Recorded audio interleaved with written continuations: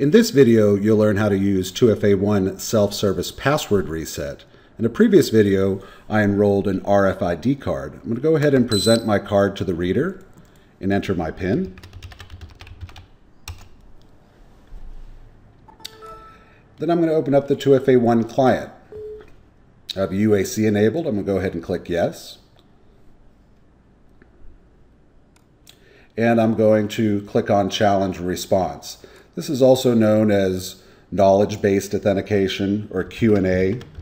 With the 2FA ONE system, I can use this to reset my password or to log on to the operating system or to unblock or change a PIN. It, the Q&A or self-service password reset process itself should not be used for what's known as risk-based authentication. And I'll get into that when we go to log on with uh, self-service password reset. In this case, I've entered in my Windows or Active Directory password and confirm that. Next, I'm going to be required to choose from a pool of questions. There's three different categories here. And in this case, by default, I'm required to select five questions.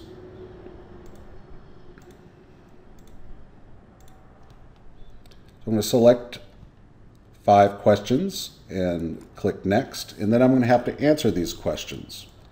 Now down here you can choose to display the characters or not. I'm going to deselect it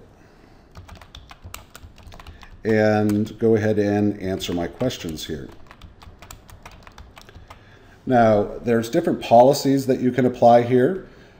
By default, each answer must be at least three characters in length.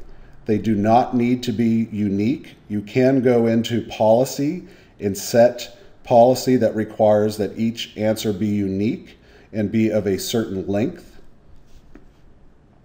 Go ahead and click finish and click save and I'll be required to log off.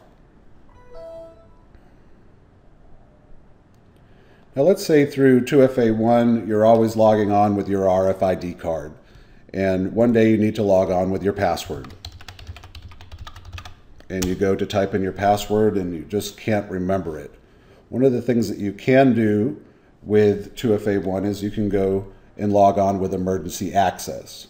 Emergency access is also ideal for in the event that you've been logging on with your proximity card and for some reason your proximity card is no longer available. Or if you're logging on with fingerprint and for some reason you go to a system that doesn't have a fingerprint reader.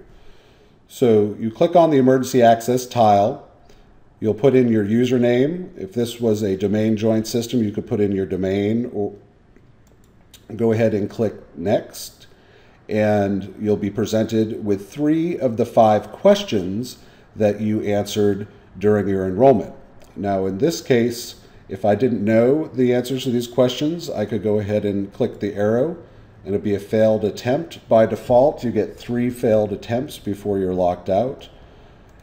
Now, the answers that I provided, they are unique, but we don't track the capitalization or spacing. So I could decide to uh, capitalize or have lowercase answers here. And once I answer the questions, I'll be, prevent, I'll be presented with the emergency access options. Now this, these options can be configured during enrollment or they can be configured by 2FA ONE server or within the local client. Now in this case, I want to reset my password. I could just click log on or if for some reason I had blocked my PIN, this would say block PIN, or if somebody had watched me enter my PIN and I wanted to change my PIN, I could change it here. But in this case, I want to reset my password. So I'm going to go in and enter my new password. 2FA ONE doesn't ex expect you to know your prior password because you've already proven something else. Those three questions that you answered are proving to the system some knowledge other than your password. So I'm going to go ahead and click OK. And it's going to inform me that my password was successfully changed. So in this case, I can now go and log on with my password and gain access to the operating system.